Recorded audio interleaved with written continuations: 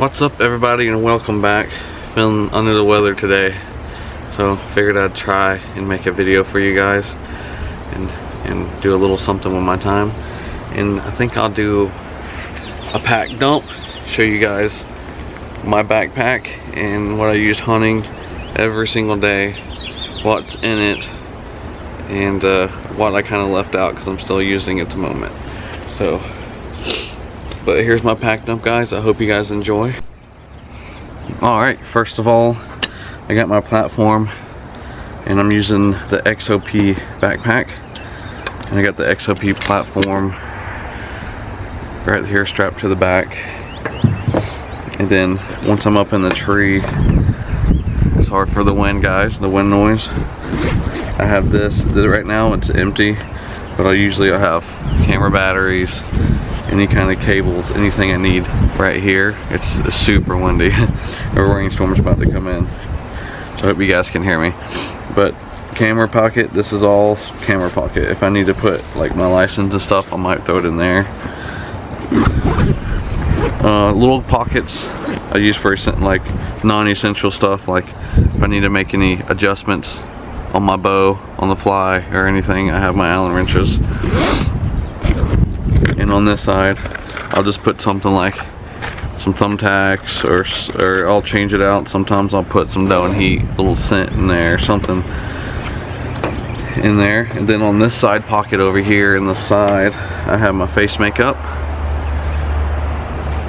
And I'll always I'll try to put that mirror in so I don't get any reflections to spook the deer. And then here I'll usually have some kind of cover scent spray and some, and some foam face foam everything in this pocket. And this uh, this has that liner so it's like a scent free pocket. So you can put some doe in heat in there and not worry about it spilling in your backpack and stinking everything up. And then up here I have a battery backup. I got this from Bass Pro Shops and it actually has a LED light on the back for emergencies. And I have this S-clip that I use for my uh, my quiver for my bow or anything else I need to hang on there and then here I'll have cable charging cable for my cell phone because you always need to have a backup plan Sometimes I'll do the pack rack antlers and I'll strap them to the bottom. Um, but when I'm doing on the go quick stuff, I'll throw a call in here. I have this call, I have a couple different calls, and I got the bag that I'll just throw in here. And for some reason I have some random ammo. Probably need to put that up. I don't know how long that's been in there. But just random stuff like that. Sometimes I'll put um, my rack on this side and I, I have enough room to put a bottle of water or a drink in the side pocket. And then there's a top hole up here, the very top. You guys can see I'll put binoculars and rangefinder. This is what that pocket's for and that's what it's for only. I don't want to mess up any kind of lens. Has like a felt liner. I don't want to mess up my lenses and stuff so I don't put anything else in there that could damage that. And then this whole pocket, the big pull out pocket, I'll have some camera accessories like different kinds of holders and stuff here. Um, just hat clip and other stuff on the go. And then my camera arm and stuff for the different the different angles. And if and I might have enough room I could see for another camera in here. So I might upgrade my camera. We'll see. Because uh, I filmed on my cell phone last time because the other camera shuts off after like 29 minutes or something for filming. And then the one thing I really like about this backpack is this back pocket right here. And this pocket has I'll put wipes. You never know when you need to go number two in the woods. Hunting license. Usually I have it all laminated or something. And I'll put snacks and stuff back here.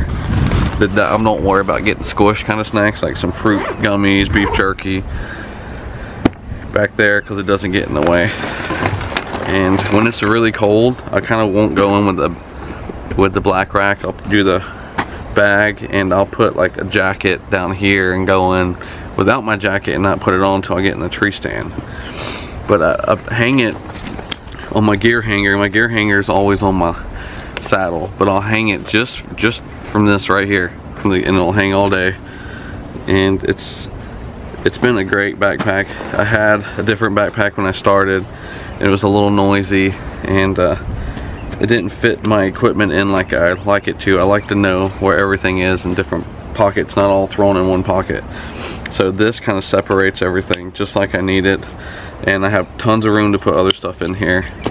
But she weighs probably about five pounds. And then with this, it's probably about 10 to 15 pounds. It's not so bad. I carry my sticks in separately over my shoulder.